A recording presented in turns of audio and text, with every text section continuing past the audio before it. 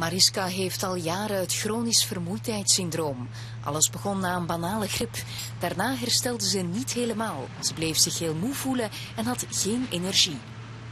Ik ben heel erg vermoeid geraakt. Eigenlijk is vermoeid het verkeerde woord. Je bent helemaal uitgeput. En uh, ja, je hebt heel veel hersenmist. Dus ik kan, ik kan uh, geen boek lezen. Ik kan me heel slecht concentreren.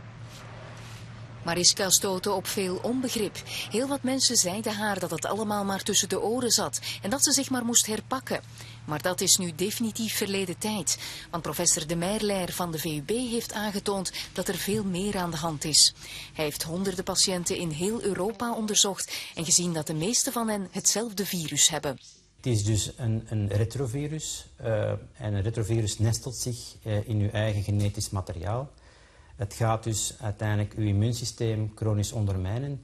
En uh, aangezien het bijzondere eigenschappen heeft, uh, kan je er eigenlijk niet meer van afgeraken. Het blijft eigenlijk permanent in uw lichaam aanwezig.